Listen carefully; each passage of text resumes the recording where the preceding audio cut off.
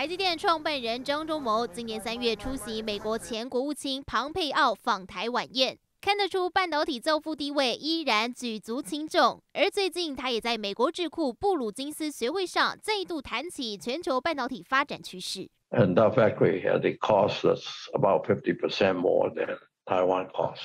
There's a lack of manufacturing talents. I don't really think it's a bad thing for the United States, actually, but it's a bad thing for trying to do semiconductor manufacturing in the U.S.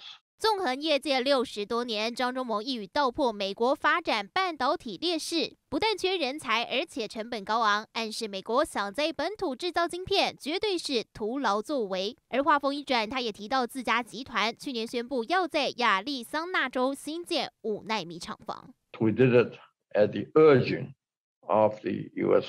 government. We think that the recent effort of the U.S. to increase onshore manufacturing of semiconductors, right now you're talking about spending only tens of billions of dollars of money of subsidy. 需要再增加它的补贴以外，上游的供应链。 都要一起照顾。尽管美国砸下五百二十亿推动法案，想巩固本土半导体产业，但是短期内还是得靠台积电生产晶片。但日媒也提出警告，认为各国政府积极向台积电招手，依赖单一厂商，届时台湾地缘政治风险反倒成为全球半导体产业隐忧。I'm assuming that there will not be any war. Frankly, if there is a war in Taiwan Strait, then I think the United States will have more than chips to worry about.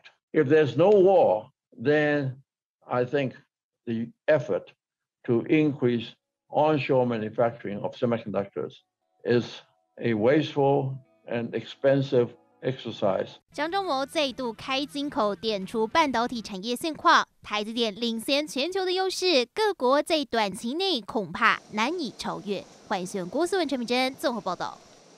请订阅、按赞、分享环宇新闻 YouTube 频道，并且开启小铃铛，及时掌握全球时事与最新趋势。